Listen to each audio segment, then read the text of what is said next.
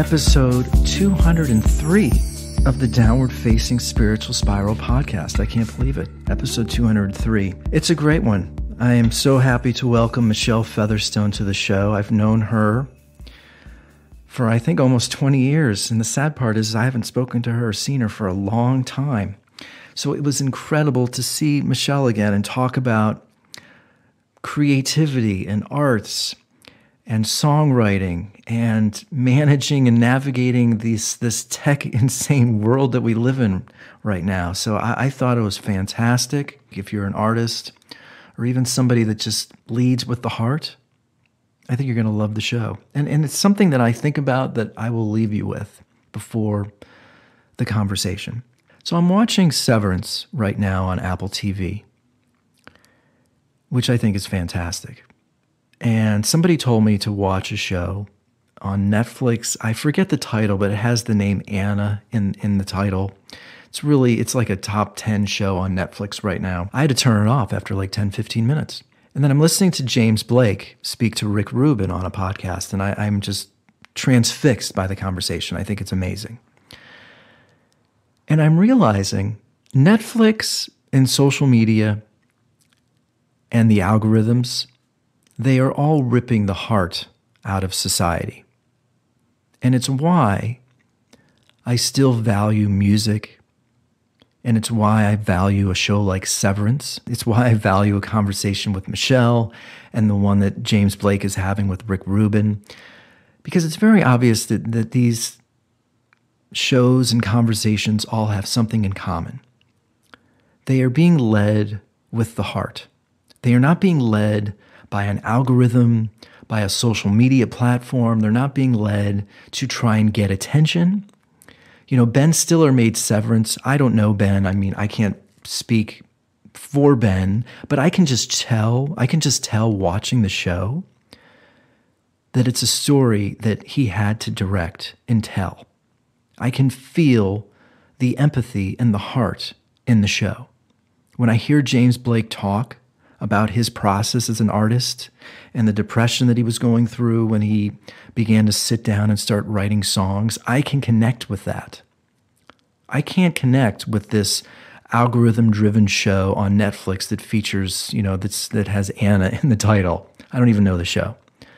I can't connect with TikTok. I can't watch social media all day. I can't play video games all day. I still need human to human interaction. I can tell when people aren't listening to me because they're busy texting or watching something else on their computer screen. It pisses me off what I see technology doing to our culture. I'm not a Luddite. I certainly love technology.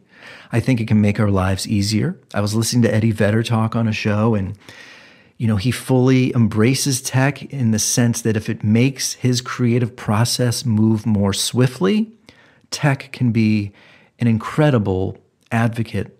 It can, it can be an incredible addition to our lives. But what happens, you know, where is the tipping point in your life, in our society, when technology begins to rule and starts to turn human beings into these simulacrums of what we used to be? Because I see it happening.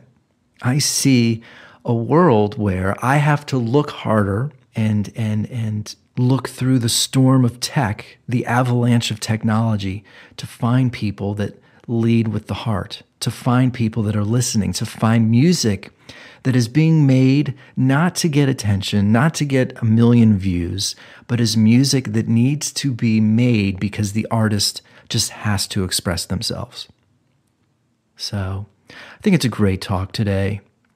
Michelle, thanks so much for taking the time. It really means a lot. It was incredible to connect with you again, and hopefully, I'll see you or talk to you soon. As I said, you can find Michelle at michellefeatherstone.com, social media.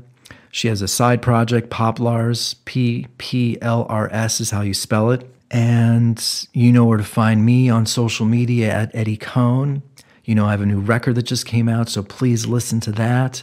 I have a new book coming out in the spring, which I am I'm getting some people are slowly reading an advanced copy and they can't they're telling me how funny it is, which I love. So if you want info on how to get an advanced copy, message me on Instagram. I'll give you the deets. And if you enjoy the show, please share it with your friends. Maybe head over to iTunes and write a review and just say how much you love the Downward Facing Spiritual Spiral podcast. That would be incredible. And that is it. Michelle, thanks again. Great to talk to you. All this all the music on today's episode, I don't even remember if I said this. All the music is from Michelle Featherstone today. So huge thanks to Michelle. Huge thanks to you for listening, supporting, being a part of the downward facing spiritual spiral podcast.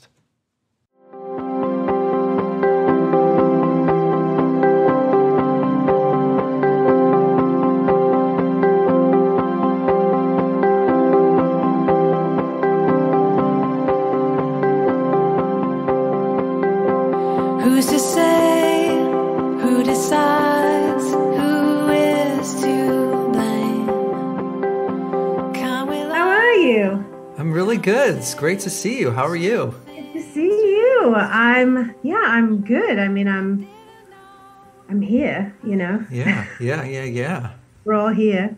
I I- like your studio. I'm getting to get a, a sense of all of your fun toys in there. It's making me really jealous. Yeah, it's it's funny. I um, really felt a lot of inspiration the last couple years, and and I kind of I was DJing and teaching yoga, but then I put out a record, and then I was like, you know, there's this level of depression that I feel when I'm done with something that I put my heart and soul into, because it's sort of like that process is over, and then it's like the world, and how do they respond?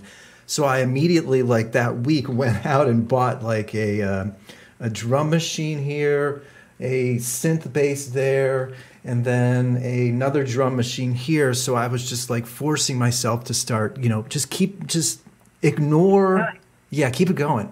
Yeah, So that's great. I'm about to sort of downsize, I think. I mean, I I was working doing some electronica stuff with a partner and that was going really well just before I gave birth to my second kid. And then he also had a kid. And then so we were both like, well, how are we going to work then? You know, that's not going to work. And then, um, but I gave him some of my equipment to store down there, and we were just using the Prophet all the time. sure, Like, oh, that's great.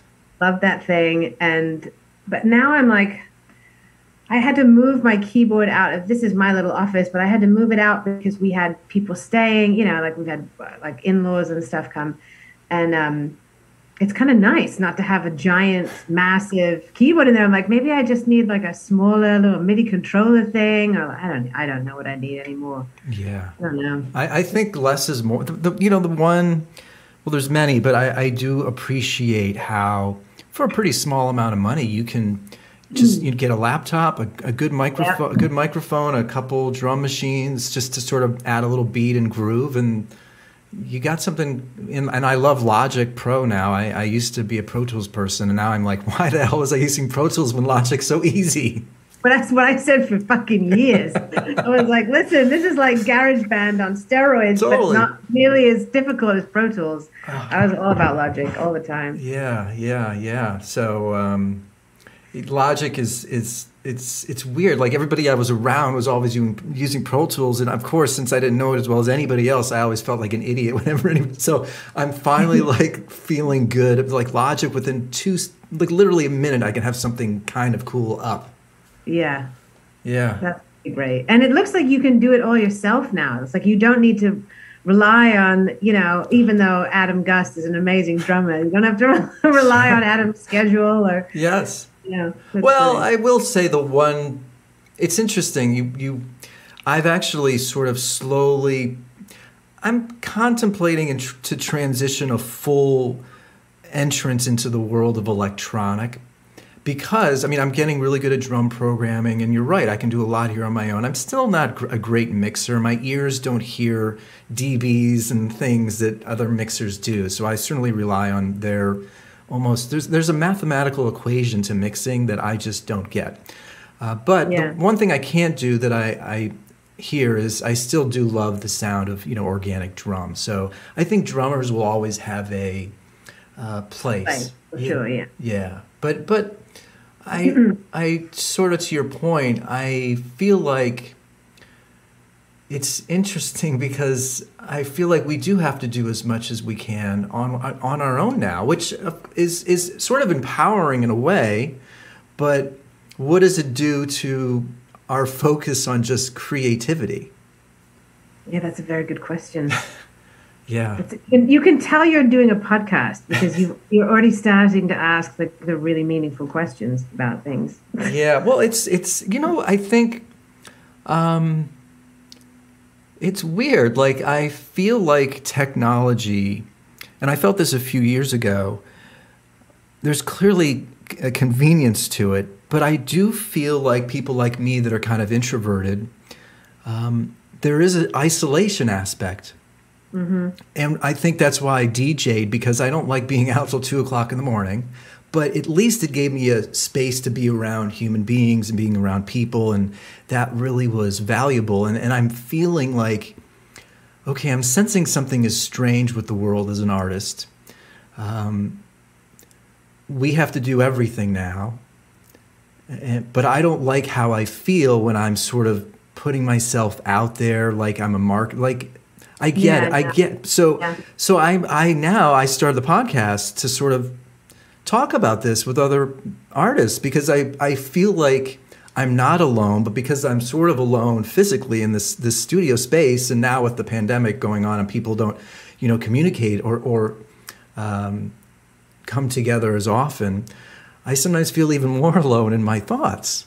Yeah. So it's um, I, I don't know. Do you, do you think about this kind of stuff, or or do you, are you so busy being a mom that you, that you don't, or is it?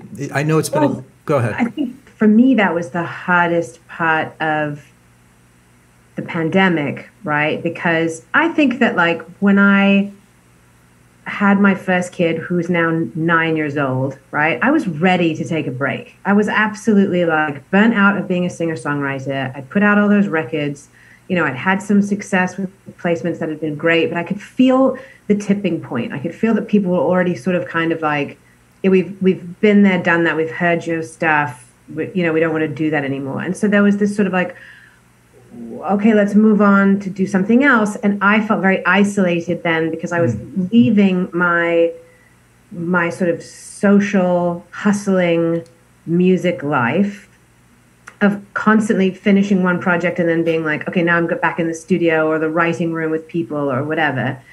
And so I immediately thought like, oh, well, I'm at home all the time now with this kid, so maybe I can start like scoring things. Maybe like I'll become a composer, Yeah. you know.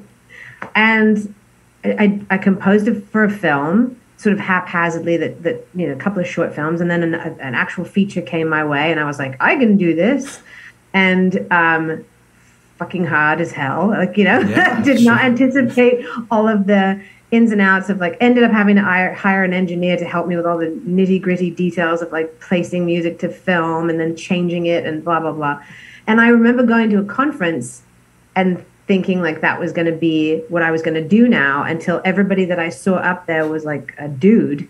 Hmm. And somebody asked the question like how come there are so many dudes up here and no women? And they were like well you work from like seven in the morning until like four in the morning and you're taking changes and then you have to do those changes by 7 a.m the next day and like you have no life you're never with your kids and i'm like i'm out you know so so, the, so i felt i really did feel that isolation in a different way because i had become a mother so then i was like yeah i was like doing the mum thing and i'm mothering and i'm I I had taken this break from singer songwriter dom and I didn't know where to go next. I wasn't going to be a composer clearly, so where do I go now? And found electronica because once again I- I was messing around with Logic and it was coming up with just beats and I met someone who was that was all he was doing. He was a mixer but he was really good at beats and it was sort of like the natural thing to want to work together because I offered him the songwriting and the vocals and the melody, and he could give me everything else. Yeah. And that felt like a- natural progression to sort of still be isolated, work together occasionally, work remotely, work when I could, you know, when my kid was napping. And so, in some ways, I- then I became in a, a different way prolific in in the electronic world and did a couple of records with that. And then things shift again, and you're in the pandemic then, and then you have no time. Yeah. And so all I can think about in the pandemic with two children is what they're doing from one minute to the next and their next meal and their next snack and if they're getting enough brain, you know, stimulation. And my then feelings for wanting to connect back to my music were way, way on the back burner. Like just uh, okay, singer songwriter stuff, we needed a break from it. Electronica can't do anymore. Pandemic, I'm now preoccupied with two kids. It's not until just now, you know, when they're finally back in school, that I'm in this place where I'm also wanting to connect and trying to figure out Yeah. how to do that, where to do that. Because because I know that, you know, we played all those circuits back in the day together and we were both kicking around Hollywood for years, playing out and playing with live musicians and working on records and putting all of our money into those things and you know getting uh, you know traction here there and everywhere for a little bit and then that kind of dissipating and you're chasing that again and I don't know if I have the time or energy to do it in that way anymore. Truth is, I mean, you know. che- che- cheers to everything that you say. And, and I mean, and that's the thing. It, well, it's interesting. It's like I spent, uh, it was very therapeutic to spend a year on the record. And I, and I didn't, very similarly to you, I finished my last record about, you know, seven, eight years ago. And, and I was noticing that's when sort of Instagram and Facebook were just starting to really take off yeah, and I was feeling this shift in, in, in attention spans and people's priorities and, and there was a shift in the appreciation of art and I, I felt that and I, I still obviously feel it now and, it, and it's weird it's like you put your heart and soul into something but then you the, you need to release it and talk about it on Facebook and, and social media. Um, look, you don't have to, but I think we create, and you answer this, it's sort of a question, but it's not. I, I think about myself. I create because I have to. It's, Yeah. it's like it's in me, and I feel like I need to express myself and make sense of the world. Now, do I want people to hear it? Of, of course I do. Does that make me narcissistic, or am I not a you know a pure artist? I mean, it like I guess to turn it to you, it what and this will sort of extend to present day, but why did you just at a very young age start playing piano? I mean, what what was sort of the reason that you started playing? Because I do think about how the purity of of creativity is sort of getting polluted by, you know, the social media and what people think. Yeah. You know, I started taking lessons at seven, and my mother was very adamant that both my brother and I learnt a musical instrument. Okay. And because we had a piano, that was, and she had learnt that, and her mother before her, it was like the rite of passage that we all. Did you have a curiosity though about about it before, even before that? I don't remember. Okay. I remember it being um, an entertainment thing, you know, that you'd go up to and touch and whatnot, because, you know, this is this is before we had video games and we had a black and white television when I was a child, because I grew up in a single parent family and my shithead father took it with him, so we only had like this shitty black and white television, and so it was always, I guess there was, there must have been a curiosity there, but I will say that very quickly when I started learning how to play, I immediately started writing. Hmm. Like that, that be- was as natural to me at age eight and nine and 10 and 11 as cleaning my teeth. My mother remembers that I would get all the kids in the neighborhood to come over and like sing the songs that I had written, and then I would yell at them if they didn't have a good pitch or whatever it was, you know.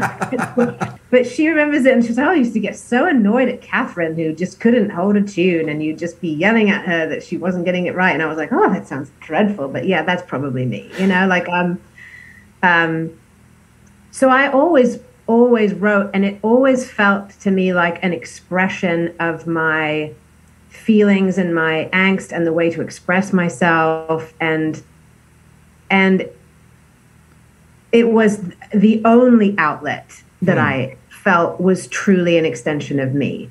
So when you say that like you, we have to do this because we're creative people, like I- absolutely wholeheartedly believe that. I I feel very slightly differently and it, it might just be you know if, if since you know my music right i tended to write about de- the depressing sides of myself, the sort of breakups and the Sure. vulnerabilities and the feelings of worthlessness or the or the shitty day I'd had or the I want this and I can't have it kind of, you know, sentiment so that in the rest of my life I was funny and happy and mm. outgoing and social because I had this other side that I was able to express that really fully like got its voice in a way you know? And there were times that i very much feel back then when i finally committed to being a musician full time which wasn't until like i moved here and after college i remember that just being sort of a dedication i had to the craft that i was very um that was very important to me. I don't see that nowadays with people. Yeah. You know, I think this is to get back to that question about Instagram and Facebook, and there's this sort of instant success, right? Like I was dedicated to my craft. I played every single day. I tried to write something every single day if I could. Uh, Things came out of me in five minutes that were full, complete songs that I had. I feel like I was like having an out of body experience because I feel like I was just a vessel to some other thing, you know, that then I was able to express something. And and I feel like that's missing a lot from contemporary songwriters, contemporary artists. I feel like on the one hand, it might just be different. It might have just changed. You know, there is this sense of like somebody now sits down and just works on beats. Yeah. I mean, as a songwriter, singer songwriter back in the day, people weren't doing that. You know, drummers aren't going to their instrument, drumming out a thing and like handing it over to somebody. You know what I mean? Like that was rare. Yeah.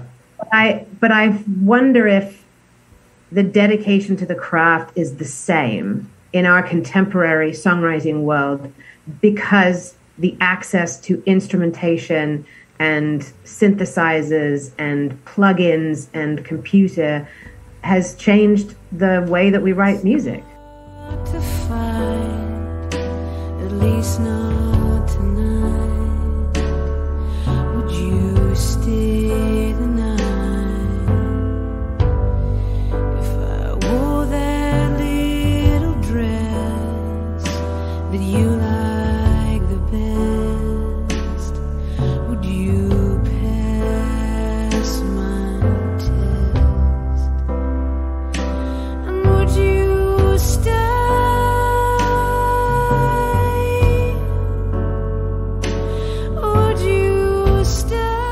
It's something that I, I think about a lot, and I think there's some sort of rawness or a deep connection to pain and and feelings that when we were younger, your your age and my age, we actually had to live through and feel. And now, because there were very few distractions, and I think similarly to you, I had uh, I used music.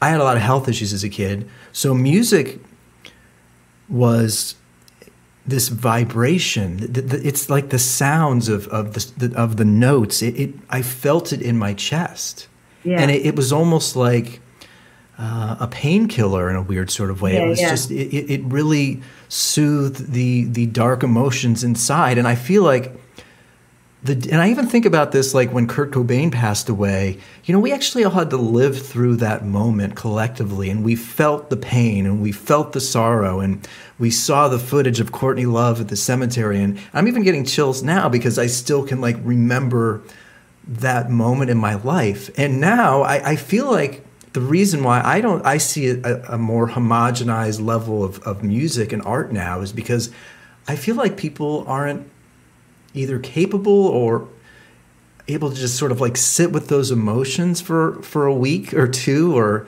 and and from that place create it feels like the way creation now is is much more fast paced and homogenized and it's it's it's it's just so different Yeah. Yeah, it's it is it's fascinating to me. It definitely is fascinating to me. yeah I feel like, you know, because it feels easier for people to make content hmm. that that perhaps that content doesn't have the depth yeah necessarily all the time. And I I'd, I say that in a very general way because I don't want to piss off anybody that feels like because they have more access or different access that that means that they're not writing quality songs or quality material. But I I feel like you know so, you, you have to re- think now that because we're flooded you know with so much music now. I mean, somebody gave me the statistic that like 60,000 songs a day are released. Yep, it's true. Well, Yeah. 60 fucking thousand songs.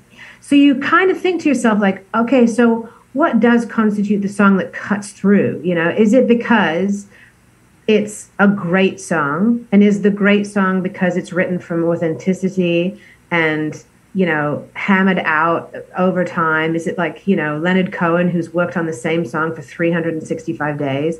Or is, is that on the same footing as somebody that sat down and you know played a little ditty and had somebody come in and sing on it and then had somebody else do a, a thing on it and and then the you know like i i mean i don't know i i i would imagine that both of those people would say they have validity both of them in for, for what they're offered. But i think the problem is is that we are just flooded now by people who can do all of those things without learning an instrument perhaps. Like you know there's a lot of tech people that don't have never picked up a guitar. Right. but they make a guitar sound on the on the synthesizer but but to me i feel like you're lacking just a slight it's more of an ai experience than it is the authenticity of picking up picking up your instrument and feeling that vibration that you said is in your body and it's connected with your instrument because i felt that with my piano like i would play a chord and i would feel that resonate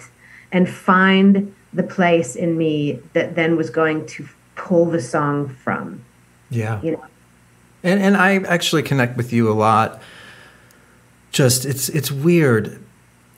I, I I'm very happy, and you know me. I'm, I'm sarcastic, and I like to tell I like to tell jokes. But my music and sort of the way that I look at the world is is very analytical, and my music is pretty dark. And so, um, I, I think you know, music. It's weird. I just I think it's just look. I could sound judgmental and say that it's better than then than it was now, but I think we're just different people. I and I think this is proof, and we're seeing it. It's the re, the result of uh, a culture infused with a cornucopia of tech of nonstop tech, and so Yeah. I do believe.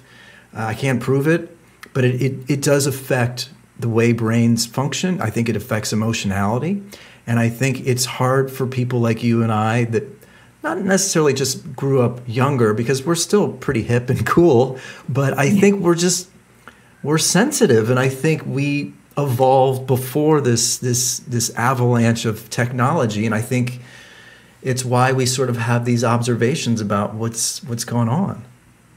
I I think that we'd be hard pressed to find another career that would expect um, us to create the content from the authentic place that we're trying to create from, um, but then to figure out the business acumen that is required then for that and self promote and and do it through this new tech channel. You know because like back in the day you know, I don't. I remember going out there without even having any emails, you know, and and and putting flyers in the LA Weekly, and you know, telling all your friends, and hoping that your friends tell your other friends, and Yeah. and and hoping that your name was up on the board outside of the club, so when people drove by, they could see that you were playing on Friday, right? Yeah. And the only promotion that you and I had to do once we'd finished a record was play that fucking record and play Right. it well. That's Yeah. it you know, and, and maybe sell some merch at at the at the box office afterwards. But now I feel like there you're in this place where you, not only do you have to create the content, but then you have to, you know, put it up on your channels and put your stuff on you know vlogs and and talk to it's like the level of self promotion now has has gone really really high up and and God love those people who are younger where that feels just like their normal everyday thing where they're like, oh, now I've finished the song. Now I must put it on every single channel and Instagram it and do my story and Yeah. you know, make my own video and sing a little snippet in the car. And, sh- you know, it's like everything becomes this visual accompaniment to the creative process they've had in the room creating that song. Whereas I'm like, shit, that's hard for me. I'm still, I'm using Facebook and like, I feel like my kid's like, ugh, well, nobody does that. Like my kid is nine and is like, can I have Snapchat? And I'm like, I don't even know what that is. I mean, do- it's the thing where you have like a dog face. I don't know. Yeah. I need a minute to think about it. So, but I don't think there's another job out there, right, that requires someone to play all those different roles and wear all those different hats in that way in order for it to have any chance of being successful. Yeah. And that I think is the tough part of the advancement of technology.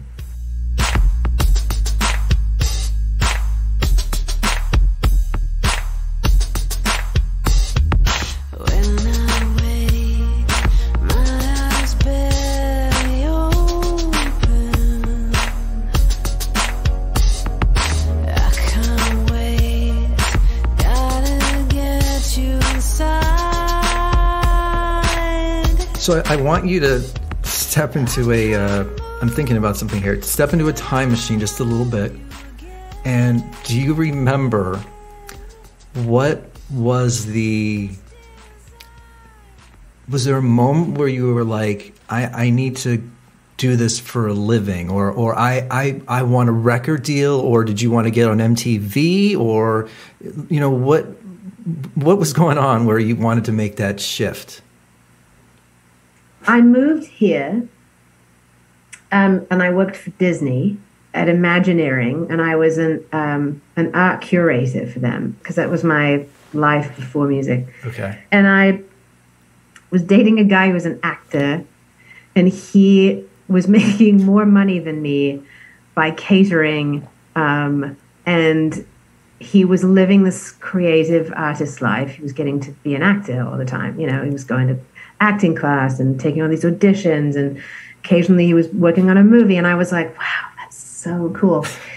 I want to do that. And I, so I quit my job, much to the chagrin of everybody in my family who was so nervous about it. And I got a job as a waitress. And I started kind of going back to my instrument. I had taken like a, you know, five year break from like writing anything in college and then, then obviously finishing college, going on with my life, um, working for museums, etc., and then getting this job in Los Angeles.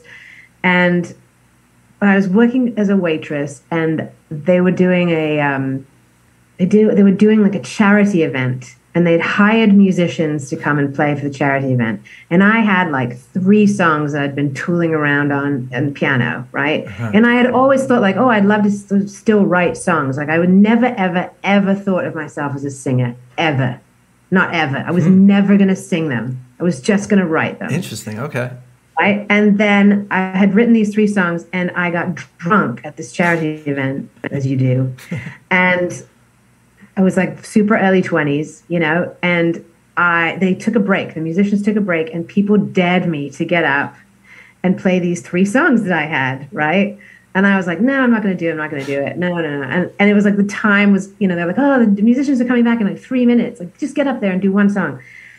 And so I was like, okay, fuck it. I did it. And I did it really quietly. and the whole room shut up Wow.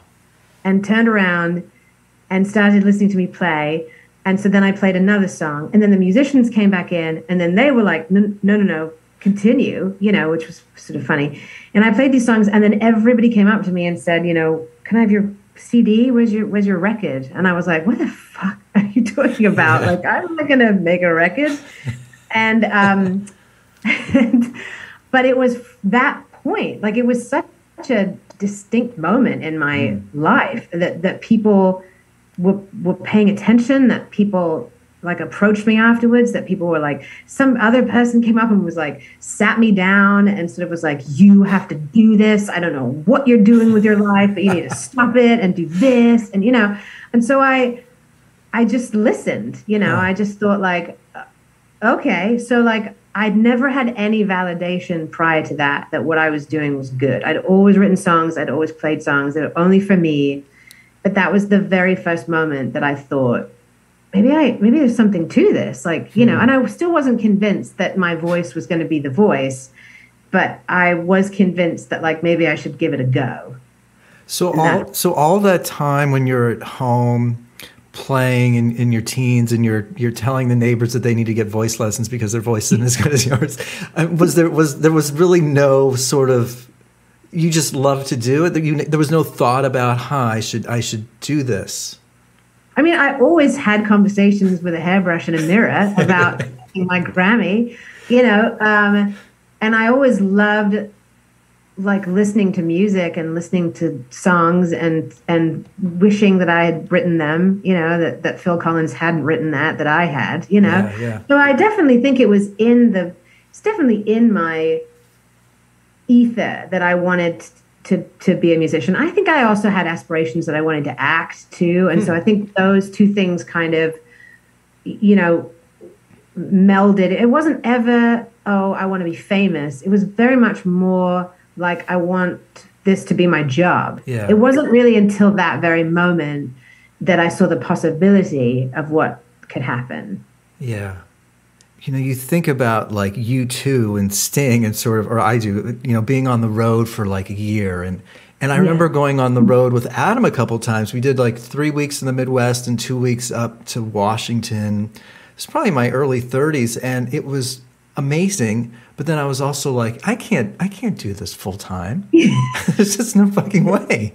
It's just, it's just not possible. And we had some great shows and I, but Yeah. also it's just, it, it's i think the artist's life i don't know if it's looked at with respect or it's looked at with naivete. Like we look at Bono on stage and the edge for just those two hours and we think that they just live these glamorous lives. Now granted they're multimillionaires and, and they're like less than 1% of society but i am sort of I, well, I, I mean, I was thinking about asking you a question about something, but now I'm thinking about just like this this strange relationship that artists have with with society. I mean, are we are we respected or are, are we taken for granted, or do we are we just looked at as you know feeble and and, and weak? I mean, I, I don't know. Ooh, Eddie, I think it's all of those. Okay. I mean, you know, it's interesting. I never, I, I never toured. I was never a touring musician. I had a lot of anxiety hmm. about playing gigs. You know, I mean, I played ugh, for fucking years in LA, all over the place, and I can't say that I. I think I can tell you that I probably enjoyed one show immensely and it was because I took a beta blocker before I went on. And my manager told me it was the worst show I ever did. And I was like I thought it was the fucking best show. I was super at ease. Yeah. I was having a great time. He was like your voice sounded like shit. You did not look focused. You're never taking any medicine again. I was like oh my god. But I I feel like in those early times when like I was connecting with the audience uh, on a very sort of like you know um, freshman level, right? Playing like Highland Grounds. Do you remember that place? Sure, I've played there with Bruce Watson actually. This is the. This is why I knew this was going to be the best. I'm like, hey, he's going to know all of the places we used to play, and um, so that place was, as you know, had that stage, but then everybody was kind of like sitting right there, Yeah. right next to the and, stage. and I loved hearing the cappuccino machine while I was singing. all the time.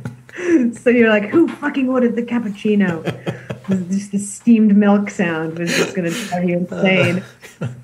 But I had, um, I remember like in those early years, right, of playing out, I was so nervous that I would, um, I would do two things. I would take a notebook with all of my songs in it, and I would put it on a music stand, and I would sing by reading the the lyrics out of my notebook because I couldn't remember the songs, so I would get too nervous. And then, Right. and then in between the songs, I would just tell the funniest stories I could possibly think of, and then I would go back to singing the most depressing song you've ever fucking heard. Yes. But you know, but people would sort of, so I could feel the audience sort of laughing, but then I could feel the connection of of them, and I often thought that they probably looked at me as sort of like, oh, bless hmm. her up there, you know, singing out her little songs, you know, Yeah. oh, so sweet, and she, oh, no, she's had oh such a rough life, hasn't she?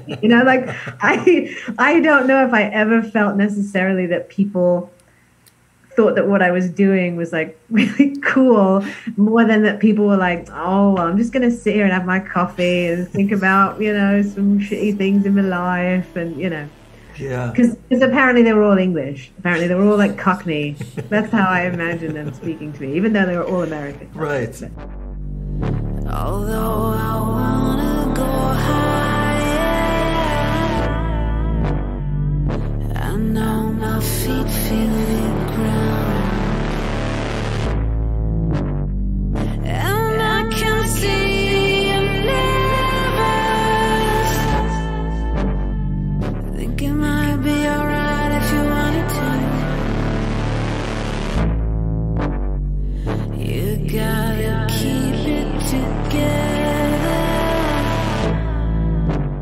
But I'm thinking in my head like, oh bless her, oh dear, what she had happened. Oh dear, she's been dumped again. Oh my god, feel so sad for her. Oh, but she tells a funny story though. It's funny though because I remember seeing. I, I think it may have been Ryan Adams like 14 years ago before like everybody hated him, but because he was touring a record that was really sad and depressing, and when you sing those types of songs, you do need to break up the songs with like a little lighthearted story. And and Yeah. I, I remember you being really. It's it's funny. I know you're you're similar to me in the sense that I'm so self-critical, but I remember you being fantastic, and I remember your voice being great. And I'm not the only one just saying that because you definitely. I think like a couple big companies repped you as a songwriter. I, I, so I think it became clear to you uh, that you didn't want to go on the road for two years. I mean, of course, if like you know Sheryl Crow had said, "Hey, can you open for me?" you would have probably said yes, and you, and you would. I think if that had happened, I would have said yes. And you would have made sure to bring your Xanax with you on the road. but did I like? But did when did it become aware, or or when did you become consciously aware of this idea of like, oh, I, um, I could, you know, get music in, in film, or you or be a songwriter? Because I feel like some pub companies or some sort of licensing companies were responding to something going on Yeah, there on. was. I had a pub deal, um, which was which was great. Uh, you know, back in those days, you know, you were giving out CDs to people all the time and hoping that somebody listened to it. And and you're, you know, I had some friends that would also do that, and we were all kind of like coming up with the, you know, harebrained schemes to like giving out our CDs to people and putting it in the cars when people were valet drivers. You know, all kinds of different ways of doing it. Um, and somebody gave one of my CDs to a mu- music supervisors that at the time were called Daisy Music. They're very good friends of mine still. It was uh, Madonna Wade Reed and Jen Oh, sure. Okay. They were working on Felicity and they were also working on, um, oh my God, now I can't remember it. What's the one with, with Ben Affleck's ex-wife that was the, uh, the, the spy? Oh yeah, I know what you're talking about. I don't. I never watched the show, but I know what you mean. yeah. so embarrassing. I can't fucking remember. This is what happens, folks, when you have two children that suck all of your brain power away from you. Um, anyway, so there, so she's on the show, and there was a, a placement. I guess it was between me and Ten Thousand Maniacs, and I was super excited. And they were like, "The reason that we went with you is because the mother of Jennifer is getting shackled, and I had a song that had the word shackle in it, right? and so literally she's getting shackled in chains, and I'm like, I win because I had a song that had the word shackle in it.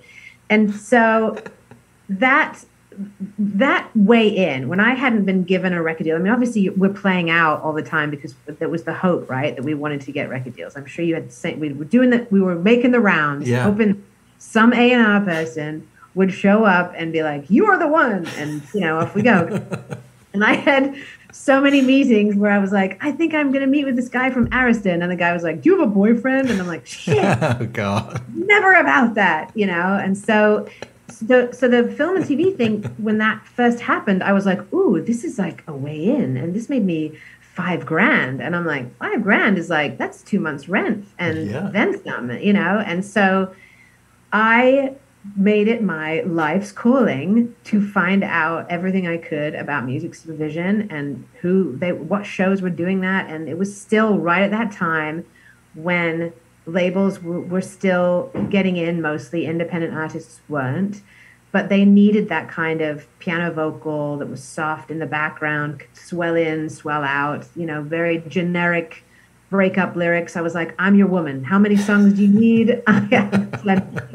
and I just made it a, a, way. I went to every conference there was on music supervision. I met everybody. I wore stupid shirts that, like, then I could say I was the girl. I had this pink tank top that said "Dirty Bird" on it that I got from England because you know you're a dirty bird, you know.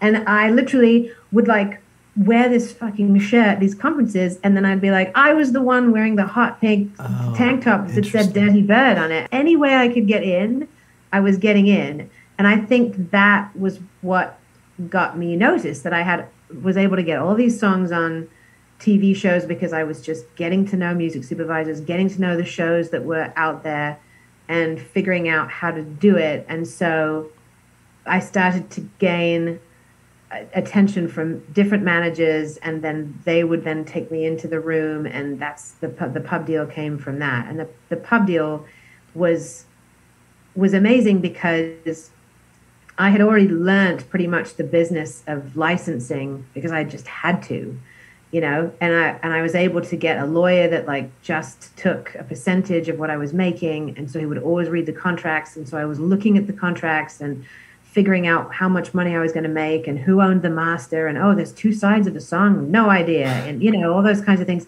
Joining ASCAP making sure I had a PRO to take care of the royalty aspects.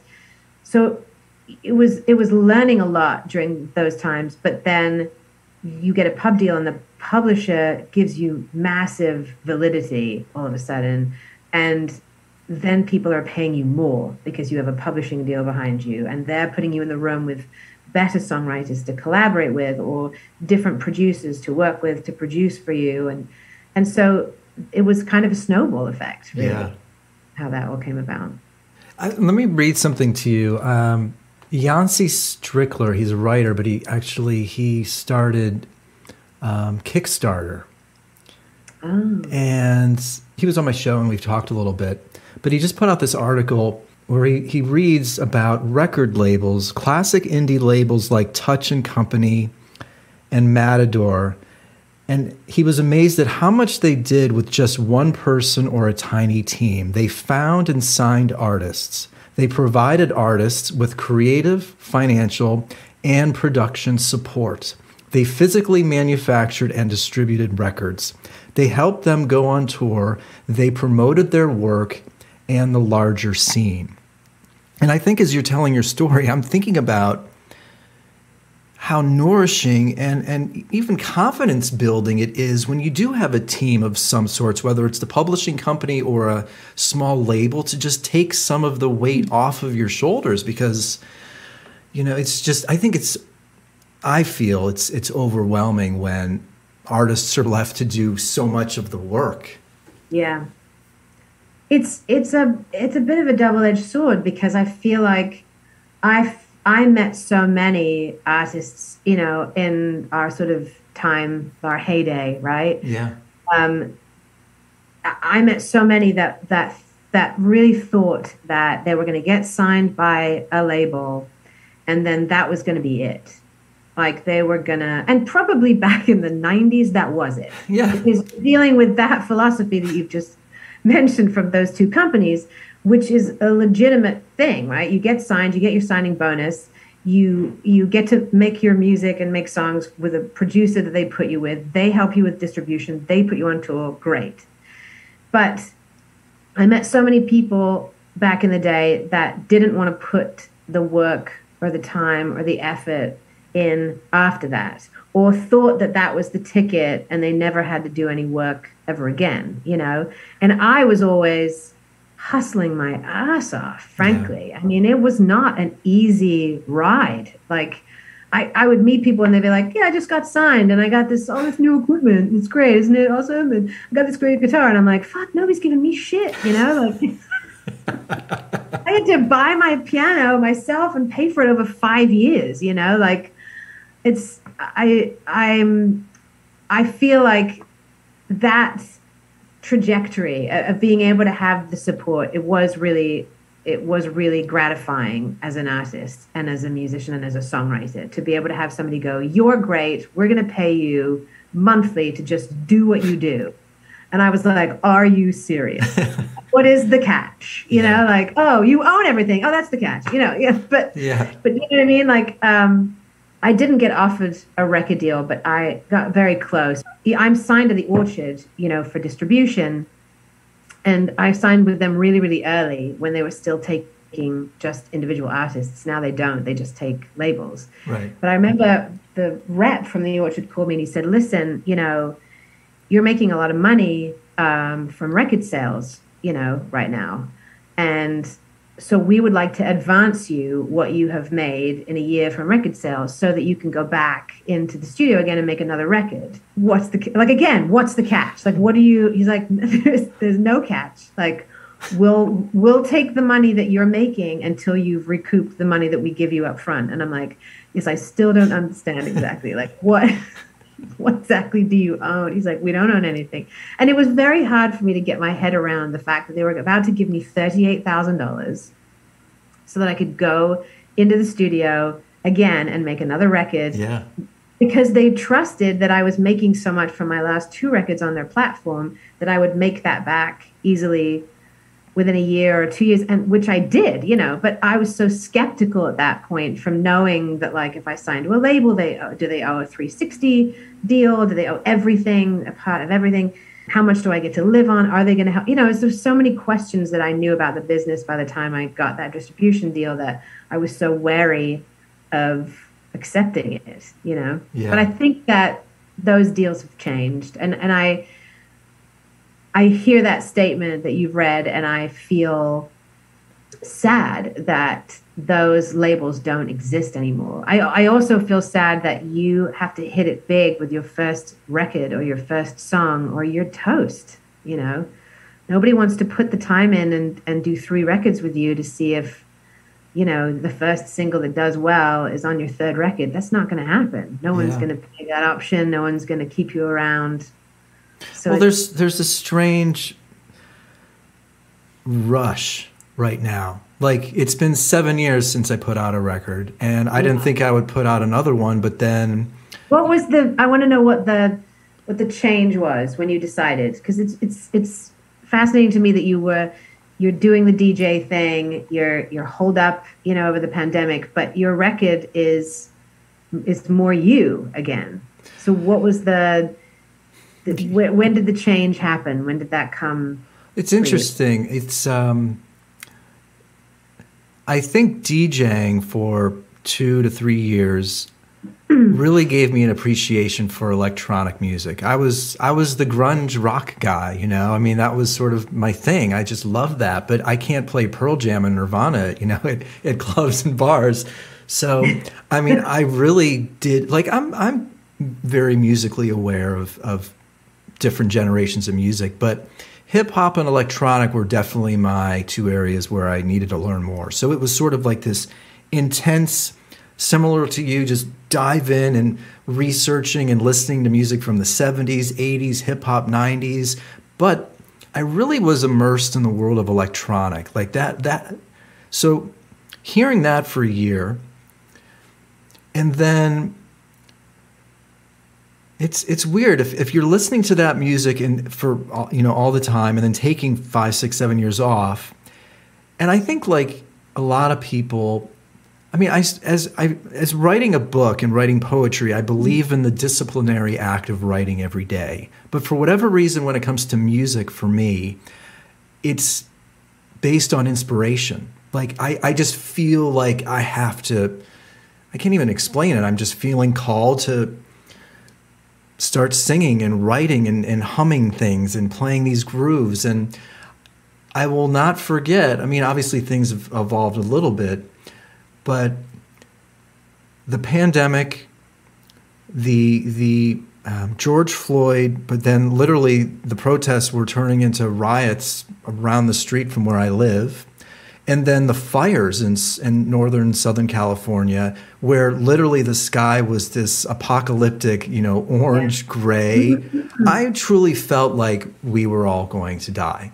Like like i mean that's I, that sounds so you know dark and dystopian but no, I, you know, it is a little bit of like, how many more signs do we need that the, yeah. the world's ending? We've got three. That's, you know. Right. Yeah. yeah, there's three. There's three. So I'm like, okay. Oh, and at the time, and Adam actually was telling me, he'd been telling me all this time about Logic and you got to try Logic. So I'm like, okay, I'm home. I, I'm not working.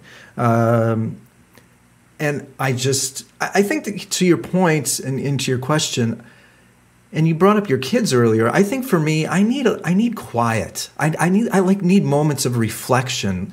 And and and like the world is going nuts around me. But on the inside here at home i felt thankfully this sense of calm and peace and safety here. And mm-hmm. so from that sort of quiet space of reflection i dove into Logic and i just I, I obviously was clearly tapping into the electronic influences of DJing but also still fusing, you know, some of the more organic elements. But yeah, I, I just, I other than the drums and Bruce Watson played guitar. Uh, Dan Lutz played bass on a few tracks, but I, I, did everything. I mean, I was, and it was just, it was empowering, but it was just, I felt called to sing, and just everything sort of came together, and it was. I, I don't know when that'll happen again, but I hope it does, without having a pandemic or like the, the, yeah. the world exploding. But yeah, it's weird. It's it's funny um, because um, I was, you know, I've been in this bubble of non-working, but mostly just momming it, and then sort of about six or seven months ago, my friend Shane Alexander. Do you know him? You know, I think I've met him once, but I definitely know the name. Yeah. Yeah. Sure. Again, same thing. We all tooled around the same time. Uh-huh. We're all in the same. You know, we're all playing the same places at the same time with each other, and he reached out and said, "Look, I'm doing this thing. I've been really because he tours quite a bit in Europe and had not obviously toured at all. And he was like, "Look, I, have taken a year off. I've read many, many books. Now I'm back and I want to do some music. And I'm just I want to do a whole bunch of co-writes." And he's like, "We've never written together. Let's do a virtual co-write."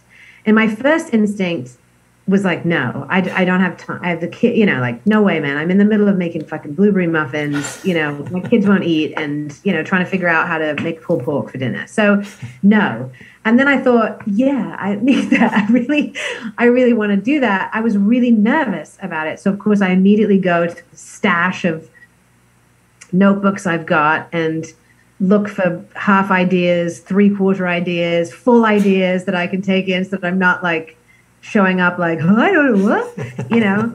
Um, and we we got together and we wrote something. You know, it felt very strange and very different to do it via Zoom, but we did something, and it just sort of like it pulled me back into the world that I was very much out of, and I I don't have you know, I really had thought, like you, that I was going to really focus more on this sort of electronic project, which I loved. Because that, honestly, I love that music. I love listening to that music. I, I could listen to that music all day, every day, all the time. I've always wanted to do it. I was loving having this electronic duo and putting out records together. And it just isn't feasible right now. right. You know, like he's in Torrance, I'm here. When we can't do, we both have kids. There's just no way that we could find a time.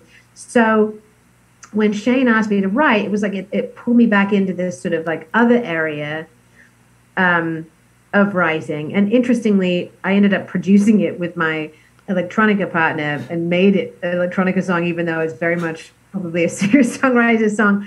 But there was this shift then in me that was like, oh, I've missed this. Yeah. I, I really have missed having this this my time, this personal time same with you like the connection to myself and the safety of my little space and this thing that was just mine. It's just me. It's not i don't have to give to my children. They're not taking it from me. It's mine you know? I don't have to deal with my husband's business. I don't have to deal with any of that. I just like getting to sit with my thoughts and my chords and my music. And then Shane asked me to go again and do another writing session, but this time do it in person. And we did that. And I, in that moment, just sort of got very emotional because I realized that it felt really good. It felt like mm-hmm. I was, I felt like I had missed me for such a long time. And I started thinking about making another record, which I feel like I thought I was done with. I think I thought that it, that was over, that, that I couldn't be a singer songwriter anymore because I'd switched to this thing and now I was doing this electronic, you know, like I Yeah. just, you know, I'd been burnt out and everybody's over it. And then I was like, no, well, actually, I want to do this entirely for me and everybody else be damned. And I actually do want to do another record. And I do want to do it from a place now that is entirely, I don't give a fuck if you like it, if you want to listen to it, if you want to place it. I think I have to make a record now entirely for me at this point in my life.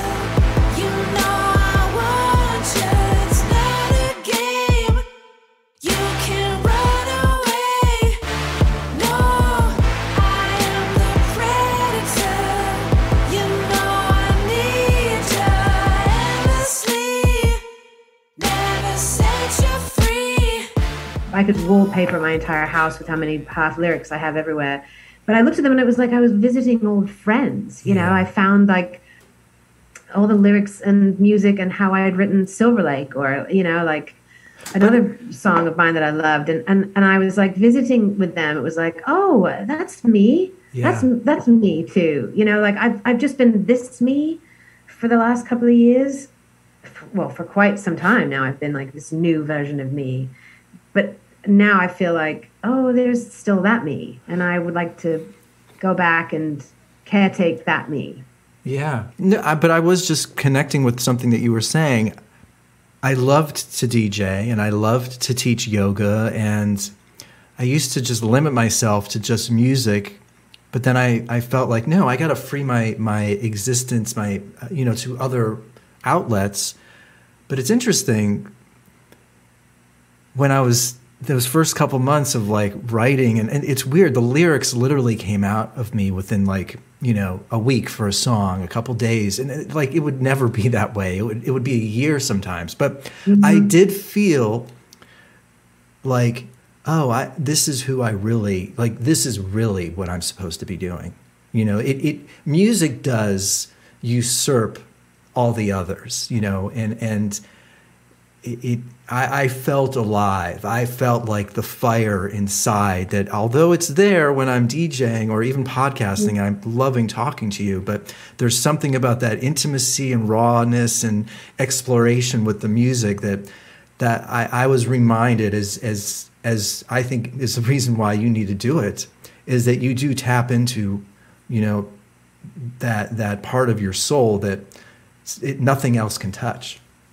Yeah, it's it's the most familiar, Yeah. uh, you know, to me. It's the most familial. It's not familial. The most familiar feeling to me when I'm doing that thing. That feels the most me to sit down at my instrument and write and play and hum and you know noodle Yeah. noodle. So, yeah, stay tuned, man. 'cause maybe I'll got like my record coming out next year. I don't know. Yeah, no. it- Well, I I think um, do your do your kids ever you know ask you about music or watch or want to watch you play or are they are they musical or, or is that something that you guys connect with or My nine-year-old daughter plays the piano okay and writes songs. Cool. You know, um, all the time. So really, if I want to play the piano, I got to wait until she's not around. Because otherwise, she comes in, she's like, "That's very nice, but can I play you my thing? It's called Broken Arm Survivor." And I'm like, "Oh, okay." Um, my son is convinced that he's a drummer and doesn't need lessons because he knows it all. So, um, so I think so. They are musical and but they're in their own way musical which i kind of love. I mean i am sort of adamant about my daughter taking lessons. I really wanted to take piano lessons because i feel like for me that was sort of like the fundamental you know knowledge of theory and chord structure and you know the basics. And and with that she'll be armed to go off and play any other instrument that she chooses or sing or or do none of it you know and i can see that her natural tendency like me is to is to play chords and hmm. write songs god help her you know. Um, my son is he likes to noodle on the piano and they're very respectful of the instrument which i really appreciate. Nobody's thumping or you know banging or clanging. But they they don't really get to listen to me. I think part of it like we we've had a couple of good old sing songs you know where i'll play like every fucking disney song that they know so they can wail on the karaoke machine behind me um, and sometimes I've played my songs for them, and you know, again, like my daughter will be like, "That's nice. Move over. Let me play this one." You know, um, but I think I feel a bit shy, to huh. be honest. You know, uh, because because you know you're. It's like it's like playing for your family. You know, in some ways, like yeah. I always felt that way about like playing for my mother. Like like one one word that was negative could hmm. just like shut it all down for like weeks. You'd be like, I, I never play that song. I hate that song, you know. You're right. It's some like stupid song, you know. Yeah. But I so I I am careful, you know, to play it. They they really got into listening to my music when my husband drives the car and I'm not in the car. And so he would play some of the electronica stuff for them and they would be singing it you know and that was really cute for me that they would like know the lyrics and the and the music for my songs but like not when i was in the car just like when i wasn't in the car it was like you know yeah they like when i was in the car it felt a bit weird me being like hey let's listen to my cd make sure you learn it you know sing it back to me so you know but you'll never feel more amazing than when your kids think that you're the coolest. You know, that's just that is a, a feeling. I think there are times that I've probably even said to my husband, like, "Wow, see, I like never really needed to go on tour. I never needed to like play Madison Square Garden. I just needed like." my six year old daughter to sing my song back to me and say like I love that song and then you're like oh yeah it's so good I'm so glad you know yeah a couple things I'll let you go. I, am thinking, and, and I get the sense that you have like some of these control issues like I do. but let me ask the question. I think part I think part of the reasons that I have a hard time with creativity or or the, you know we we do all these things you know um, to to get better at our craft and and and I think the reason why we take it harder or something is because it's not like we're just doing a TikTok dance video. You know, I I feel your music is a mirror into this very personal raw space. And it's it's intimate and it's only yours.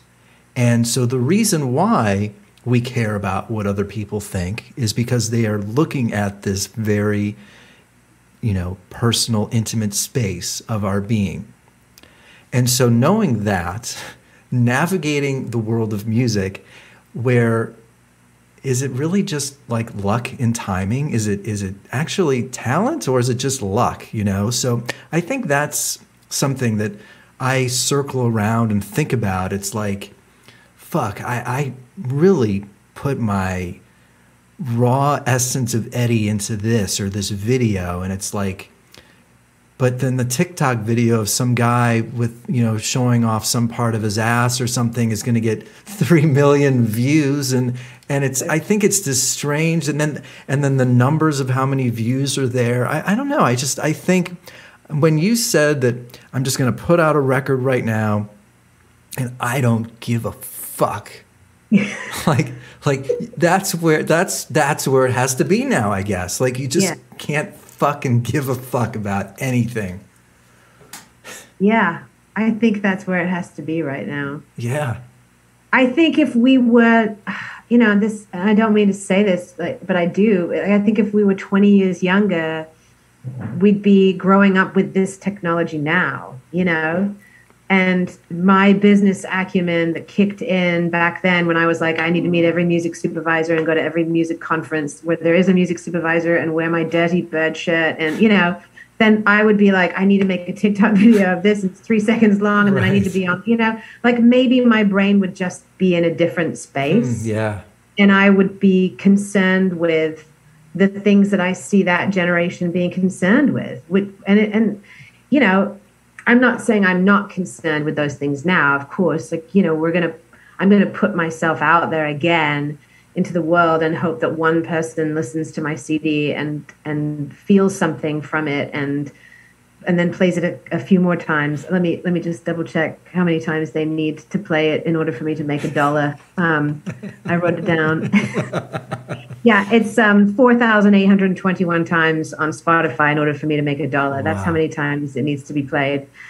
Um, but don't get me started on that. I know but we didn't even touch. I, we didn't even touch on Sona. I was like, no, that was. I know. We'll have to have yeah, a part go, two. Please, please, songwriters, if you're listening, go join Sona, and, and we'll tell you all about how Spotify is um, a terrible place to put your music. But anyway, you know, I feel very much like I do give a shit. I do. Um, but I think that I'd like to make a record from the place that I don't give a shit. Yeah. Because I want it to be the rawest version of me and and to tap into all of those things that we've been talking about that are real and authentic and special and unique. And I don't want to be the person that goes on TikTok and shows my ass for three seconds to, you know, the music of Laurel and Hardy and and that gets a million views. I don't want to be known for that. I think that's the difference for me there. You know, as much as I I did all that chasing back then and and and hustled and did those things. That was a part of the sort of the the story of my album and the story of my creativity needing promotion and marketing and you know and, and having to do that because I was an independent person. I'm lucky that I'm in a position now where I haven't had to think about what the market is missing and what I need to put into the market to fill that void. Now I just want to go out and make a record just for me, about me, from me, you know, and and not care if anybody listens to it or not, you know, or if I've put it on the right platform or if I've made the TikTok video that supports that or or whatever. And I do realize that perhaps that makes it a luxury, right? For me, like that I that I that I'm in a position where I can make a record now where I don't give a fuck. Yeah. But um, I also think that I've paid enough dues after 20 years of being in this town and giving a fuck that I get to make a record now where I don't. Yeah. Yeah. And probably, Eddie, to be honest, in the very back part of my skull, there's a little part that will be like, well, but it would be really great if it was on the season finale of Grey's Anatomy. yeah. Me not giving a fuck, you know? oh, that's funny. Well, I guess my before we go, just what's the um, well, and I will say, if more artists though didn't give a fuck, and, and if it, it, you know, if more artists didn't give a fuck, I think art would be better. But the problem is, I, I think so. Yeah, yeah. I think. So. Um, so just last before before I say bye, maybe we'll talk again down the line. Yeah, this has been so fun. I know. We're still we're only scratching the surface. You know. So so so Sona, what's what's the goal and and why are you so passionate about it? Just and, and, maybe we'll dive further into this next time. But just talk to me very briefly about Sona before I let you go. Yeah, I'll give you the the the lowdown. Sona is the Songwriters of North America. We are. Um, uh, a group of songwriters that, that banded together about seven or eight years ago and really saw the declining royalty rates and um, unfortunately realized that what streaming was doing was really killing the middle class songwriter of being able to make a living and be a songwriter. And i got so passionate about it because i saw my kids you know get into music. I watched i'm watching my daughter write these songs and i keep thinking to myself you know please here's an anatomy book. Please pay attention to this in case you want to maybe be a doctor instead, you know. But I think that um, what Sona did first was basically, um, you know, really get involved to get a voice together so that we could have a seat at the table and start helping make some decisions happen. And the streaming rates really are appalling. They're really, really dreadful. And that is the way that we are getting our music to um, the listeners right now.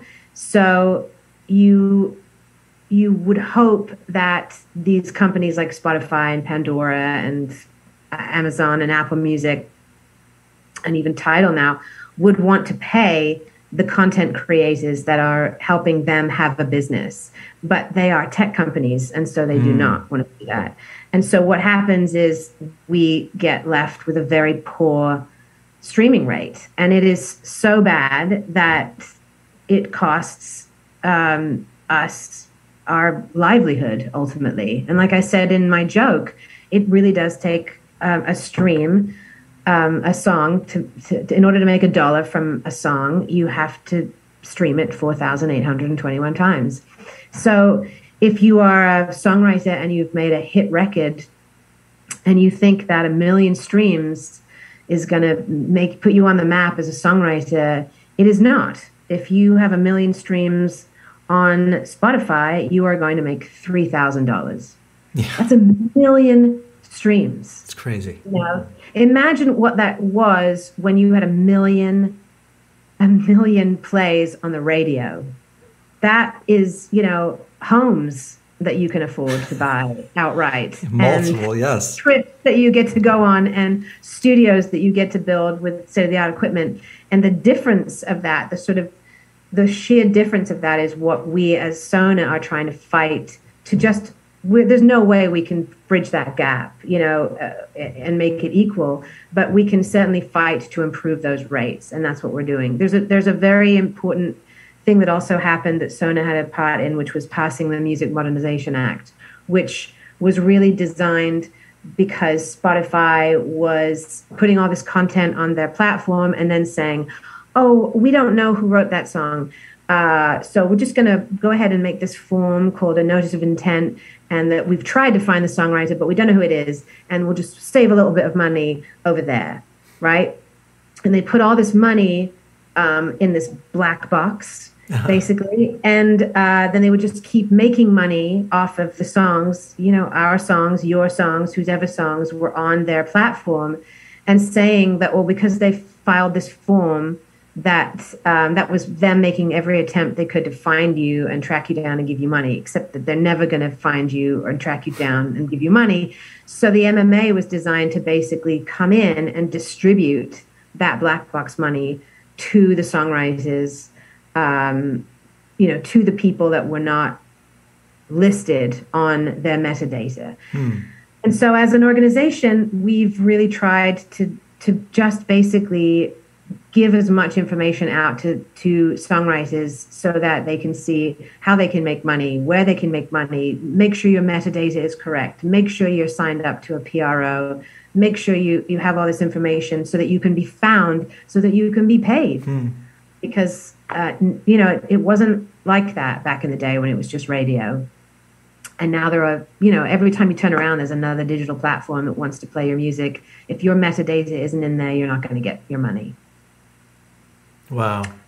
So I feel very passionate because we can't unionize as an organization. Like musicians can't unionize ever, thanks to Ronald Reagan. Um, um, and so there, there really wasn't anything that we could join to be a part of a community, you know. And when the pandemic hit, uh, we were able to start an organization called the Songwriter Fund, which gave out grants to songwriters who were struggling financially, who all of a sudden lost income from touring or sessions or playing out or writing with other people. And and I feel very proud that I was able to be a part of that and to help my community because you know we are all connected. We really are. And you know, you and I go back 20 years at mm-hmm. this point. You know.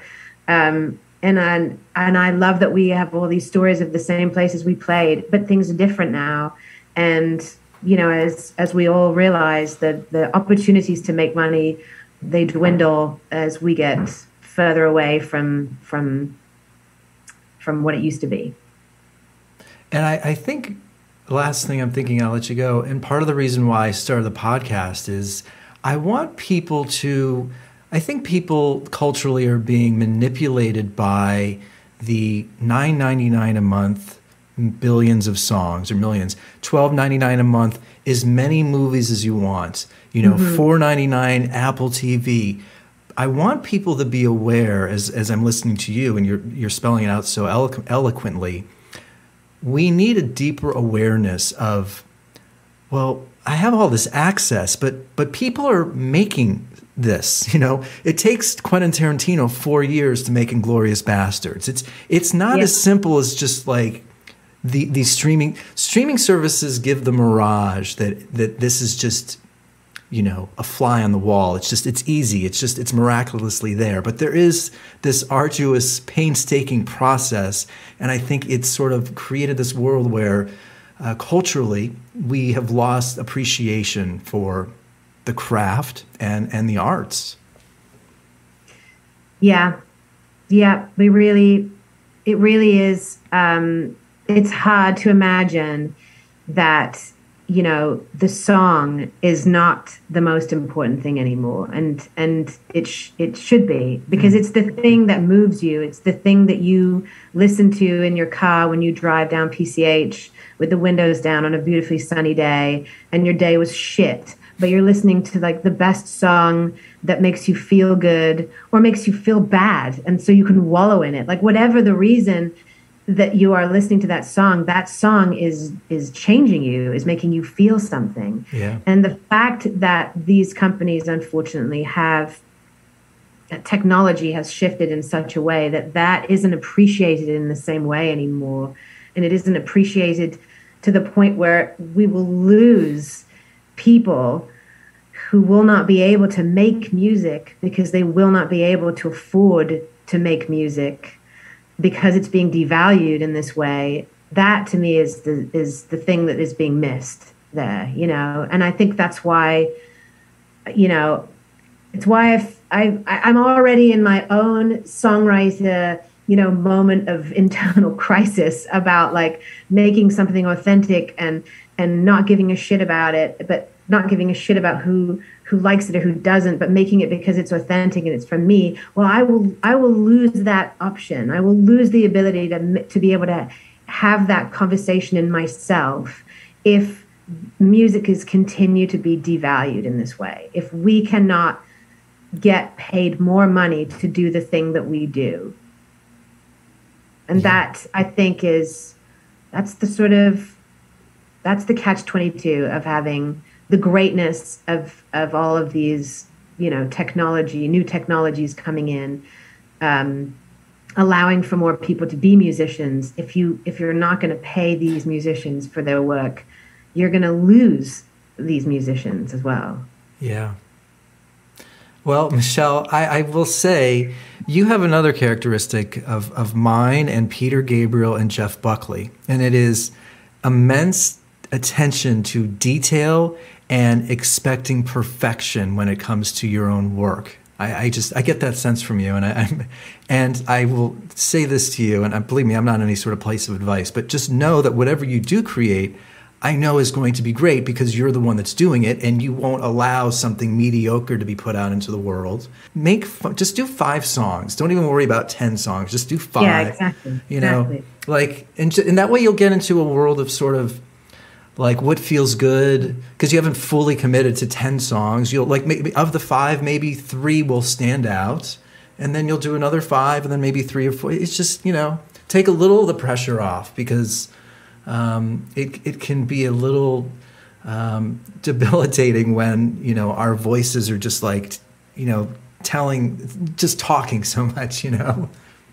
Yeah you're right I will I will take now I will uh, take on the words of my mentor and very good friend Rupert Hine who said um, write the song that only you can write hmm. and uh, I will take that and uh, stay tuned yeah yeah yeah for the for Well, the you, month. You always had a unique um, voice. You, you just you sound like you. And, and the, the moment I hear your voice and, and, and the production, it's it's you. So no matter what you you do and create, it's it's it's going to be you, and it's going to be great. And you just got to get in that right space and, and just fucking do it. Yeah, yeah, I do. I Yeah. do. Well, once again, I've been motivated for the second time. so thank you for that. I I want to do this more with you because it's been so fun to just catch up I and know. it's been such a long time. So being being able to talk about our our life, our history, our influences, our beginnings, it's been so lovely. It's really please keep doing this because I you know it's so seldom that we get to have an opportunity to talk about this this kind of thing you know we go out we sing our songs we tell little stories snippets in between but to really sit down and talk about where those influences came from where that training came from what we feel about what's happening now is it's rare and it's special and i very much appreciate it so thanks thanks for having me on Of course, I, I loved seeing you. I love talking to you, and and uh, I've always been just you've been a great friend, and I've always admired you immensely. And, and I just uh, really just hearing you vo- hearing your voice brings up memories, and it was i know feeling is mutual it Yeah. really is it's great to we see could you. we could we could sit with a couple of glasses of wine and go back over some of those awful clubs we had to play back in the day. Oh gosh. Well, I appreciate your time. I, it means a lot, and uh, I'll, I'll this will post in like probably a week or two. But I appreciate it. I, I appreciate your time. so fun. Thanks, Eddie. See you soon. See you soon. Bye. Michelle Featherstone, everybody, that was fantastic. Michelle, I really, really appreciate you taking the time to speak to me. I hope you all enjoyed that conversation. I find this kind of stuff really important right now, just the strange effect of the non-stop onslaught of technology. How is it affecting you? I think those quiet times that we have in our day to day lives are so important right now. So, anything we can do to retain any moment of quiet in our lives, I think is so important right now. Remember, you know where to find Michelle. She's on those favorite places in the world, social, me- social media. All of her music is on all the streaming platforms. Type in Michelle Featherstone, you'll find it there. Website michellefeatherstone.com. I think Michelle has one of the coolest coolest names in the world, so I'm just going to keep saying Featherstone over and over again. So michellefeatherstone.com and then her side project is Poplars PPLRS. And you know where to find me, of course, social media at Eddie Cohn. I have a new book that is coming out in the spring that you can buy now. If you message me on Instagram, I'll send you some details on how to get the book. And that is it, everybody. Episode 203. I have some great guests lined up over the next few weeks, so more podcasts coming your way. Remember, please write a review on iTunes or maybe Google Play. Share the show with your friends. That would be really amazing. And remember, today I'm going to end the show with a full song, play the whole song from Michelle Featherstone. So enjoy that. Thanks so much, Michelle, and thanks to you for listening, supporting, being a part of the Downward Facing Spiritual Spiral podcast. If I told you that I loved you, what's the worst, what's the worst that can happen?